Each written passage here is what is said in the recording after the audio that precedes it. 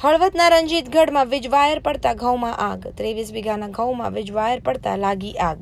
ઉપસરપંચ કાળુભાઈની વાડીમાં વીજવાયર તૂટી પડ્યો. ખેડૂતોના મોંમાં આવેલો કોળિયો જૂટવાયો, અંદાજે ત્રણ લાખનું નુકસાન. આગ બુજાવવા ગામજનો દોડી આવ્યા. વીજવાયર પડતા ખેડૂત થયા પાયમાલ. ત્રેવીસ વીઘાના ઘઉં સંપૂર્ણ બળીને ખાક